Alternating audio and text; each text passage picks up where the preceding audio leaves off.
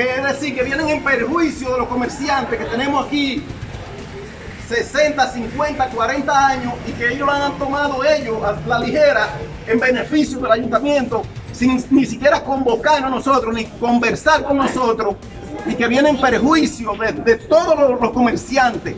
Es decir, no están tomando en cuenta que aquí hay gente pasando hambre y miseria. Aquí hay personas enfermos porque eh, ellos alegan, por ejemplo, que los derechos de los apartamentos no pueden pasar a un tercero. Sin el conocimiento del ayuntamiento. Sin el conocimiento del ayuntamiento, pero entonces sí pueden pasar al ayuntamiento y sí pueden pasar a, a la regiduría y a eso. Aquí hay gente pasando hambre. Señores, se está viviendo en una situación de zozobra. Aquí hay gente que me llama todos los días, se, se siente impotente, se siente traicionado. El señor Guarocuyo en una actuación que cogió la sindicatura en el pasado, llegó aquí de sorpresa tres días después y nos dijo a nosotros, cuenten conmigo esa vez. Pero a mí me sorprende sobremanera que esta vez sea dirigido por Guarcuya, el ayuntamiento que nos está haciendo eso. Nosotros nos sentimos engañados, ultrajados. O sea, tiene que pasar algo, el ayuntamiento tiene que hablar con nosotros y entrar en acuerdo. Porque además por un asunto de humanidad, por un asunto de humanidad, acabamos de pasar la situación de la enfermedad, ¿verdad? Que para los comerciantes pequeños fue una catástrofe. Ahora tenemos una guerra por allá que también nos está afectando. Y también el ayuntamiento está en contra de todos nosotros. Es decir, que hay que hablar seriamente, hay que juntarse con la asociación de comerciantes, con los pequeños comerciantes y hablar con nosotros cara a cara antes de tomar cualquier decisión. Porque tenemos un documento que nos llegó ahora, presentado en los últimos momentos, y no es verdad que nosotros, con nosotros hay que hablar. Hay que entrar en acuerdo, pues si no va a haber acción. Vamos a cerrar la plaza, vamos a hacer lo que no queremos hacer, lo vamos a hacer. Si tenemos que caer presos, vamos a caer presos. Porque vamos a caer presos por derecho. Somos trabajadores, somos gente de trabajo, que tenemos 60, 50 años. Nosotros exigimos el asunto de, de que el ayuntamiento ha venido poniendo sin, sin consentimiento de los comerciantes los apartamentos a nombre de otra persona, no sé lo que alegan.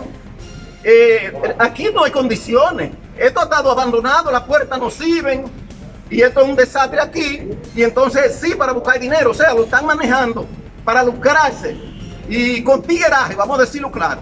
Hay tigueraje dentro del ayuntamiento y la administración del ayuntamiento hay un tigueraje fuerte para despojar comerciantes que tienen aquí años. A nosotros hay que dar una explicación de esto. Hay que dar una explicación de esto, porque si no, esto va, no va a terminar así, no nos vamos a quedar con los brazos cruzados. Para complementar lo que él acaba de decir, yo soy el presidente de la directiva que se conformó aquí.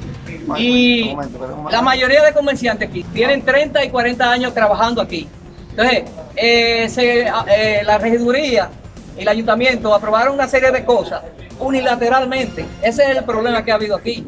Simplemente que nosotros no teníamos información, nos mandan un papel con una serie de cosas que ya aprobaron, donde aquí se ha hecho siempre, cada cierto tiempo se han hecho contratos, y ellos hicieron eh, unilateralmente, aprobaron cosas que nos están afectando a todos. Ese es el punto. La reunión es simplemente para que ellos tengan que reunirse con nosotros y podamos llegar a acuerdos que nos ayuden a todos, porque esta es una plaza municipal del comercio y son pequeños comerciantes los que hay aquí. Estamos atravesando por dificultad ahora mismo, porque venimos de la pandemia, como dijo el compañero, eh, y la economía no está buena. Entonces, si llegan a un acuerdo con nosotros, hablan con nosotros y nosotros podemos desarrollar la plaza, podemos llegar a acuerdos. Y, si hay que subir un poquito, se le sube, pero eh, los acuerdos unilateralmente que ellos han hecho no nos convienen a ninguno de nosotros. Por eso nosotros estamos aquí reunidos y vamos ahora al ayuntamiento a hacer presencia y convocar con el síndico una cita para ver eh, a qué acuerdo podemos llegar, porque para ver un acuerdo tiene que haber dos partes, no una sola parte.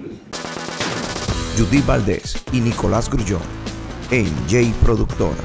Acceso sin límites. La mejor vía de estar comunicados.